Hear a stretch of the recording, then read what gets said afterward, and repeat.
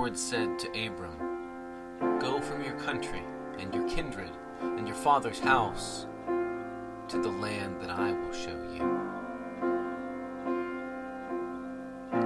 How easily we forget where we come from, Lord. Or maybe it is the whom we choose not to remember.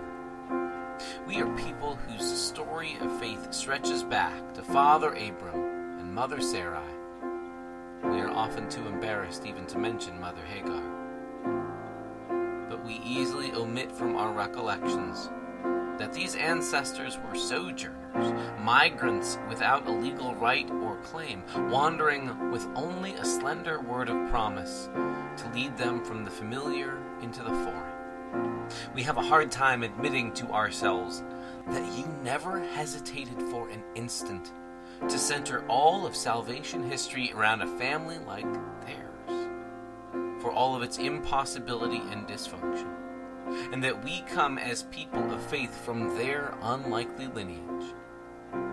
We would rather imagine ourselves the noble heirs of a respectable family line than to remember Abram's failings, or Sarai's cruelty, or Hagar's vulnerability.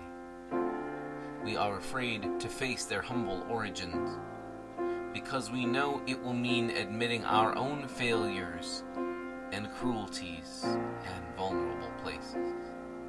And yet, you have never blushed to call us your own. You have taken us as we are by the hand as you did with Abram and family, gathering us all as refugees of faith into something new and good, only receivable as a gift, never something to be bought. So let us trust in you again today and train our feet to follow where you lead, wherever that may be. We ask it in the name of Jesus, both your Son and fellow child refugee in Abram's line, who is not ashamed to be called our brother.